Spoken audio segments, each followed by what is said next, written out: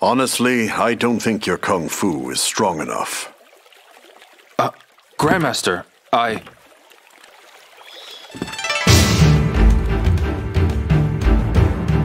A long time ago, martial arts were bad, but humans are interesting creatures. They practiced in secret, away from prying eyes, and became stronger.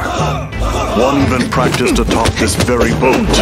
Nam Tren survived the ban and was passed on in this way.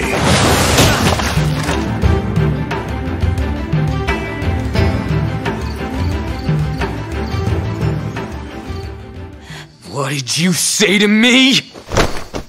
Stop it. They threaten and extort money from shop owners, get drunk by noon, and cause trouble. Everyone in town is afraid of them. They are heartless. Hey, wait right there! Are you okay?